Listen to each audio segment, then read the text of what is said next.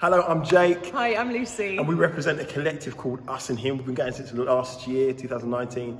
And we can't wait to be with you all next week, Saturday, for Mission Worship 2020. This year has been uh, an extraordinary year.